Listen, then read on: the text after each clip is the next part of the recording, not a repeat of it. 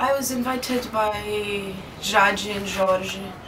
Uh, I, we were really interested in creating a space where we could have uh, some discussions. They came up with this, I think, a little bit because we were talking about zombies and we were talking about uh, city experiences and I think it was sort of a play creating a place where these discussions could happen, take place.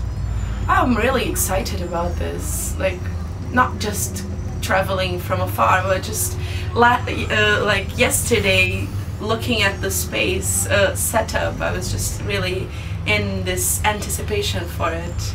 And it's like, uh, uh my expectation was sort of uh, it's like going to an amusement park where the rides are uh, for artists. so I'm really excited about the day.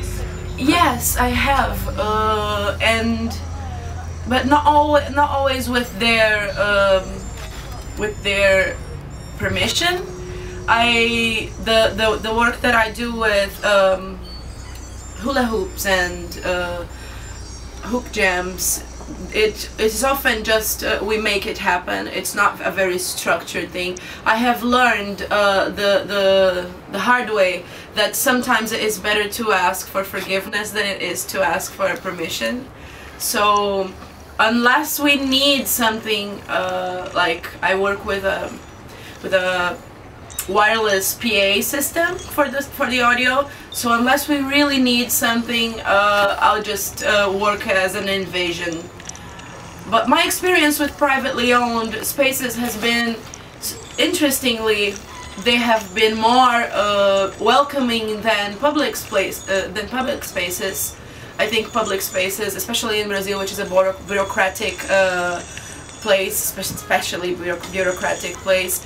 I think uh, public spaces have more of an expectation of protocol, uh, and private spaces are just happy that you're there, that you're making use of it most of the times. I'm not hmm. sure uh, if you're doing more provocative things that it, it could be the other way around. Hmm. In Brazil, there is definitely a tendency to rely on on public funding, and that even though this is is really important and it enables people to do uh, amazing things, it is also ha it also has a certain incentive, uh, at least to me, from my perspective, a certain in in incentive to not connecting with audiences. It's like it's safe to be an artist who is uh, funded uh, to do anything, and it doesn't matter if if audiences will connect with it.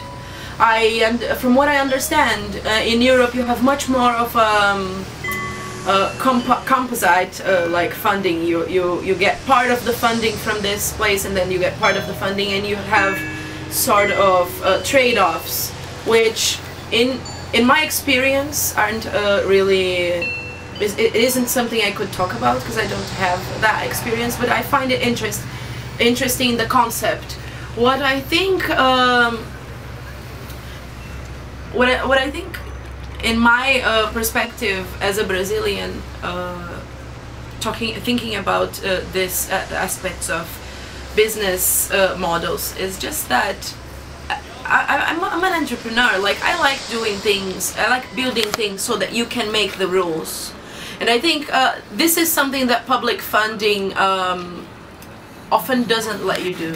Just make the rules and then if you're if you're creating the the thing. Of course uh, it also poses many questions uh, especially regarding certain types of work which wouldn't as easily be privately funded or profitable. And but I think it is a very healthy discussion the discussion of business in uh, the arts. And it's a discussion that people are afraid of. Uh, I can sense that very much in Brazil and I, I, I tend to think that here as well that people uh, think that their art will be less artistic if they talk about money and sustainability and economics.